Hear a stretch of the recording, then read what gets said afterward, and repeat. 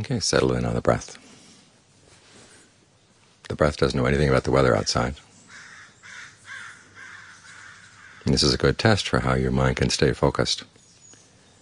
When there's some unpleasant things around, but there's also some pleasant things in your range of awareness. You want to be able to choose the pleasant ones to stay with as a way of lightening your burden going through the day. This is a lot of what patience and endurance is about.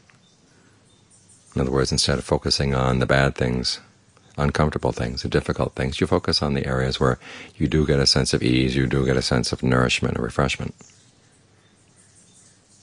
Because the refreshment keeps you going. The kind of endurance where you just simply grit your teeth all the way through doesn't last very long.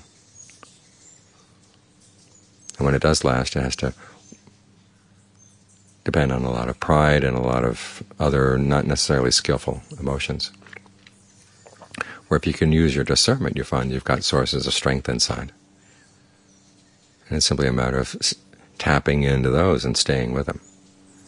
That's how you can make your way through a difficult situation. So remember, even though there are unpleasant things out there, you've got your friends inside, and hang out with your friends. and they'll make the whole issue of endurance a lot easier and a lot more pleasant and a lot more lasting.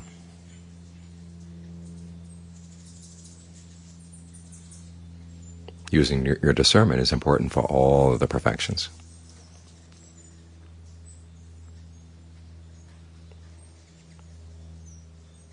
because it helps save a lot of energy. It exercises your mind for the discernment that's going to be needed for a lot, more subtle things inside.